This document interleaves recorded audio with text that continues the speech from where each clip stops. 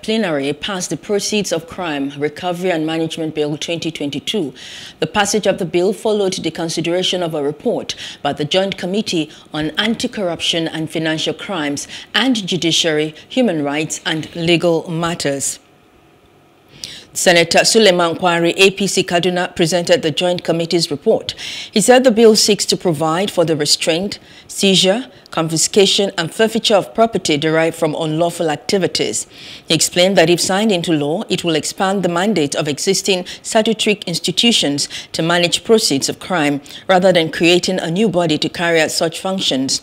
The bill, after consideration by the Committee of the Whole, was passed by the upper chamber. Hello. Hope you enjoyed the news. Please do subscribe to our YouTube channel and don't forget to hit the notification button so you get notified about fresh news updates.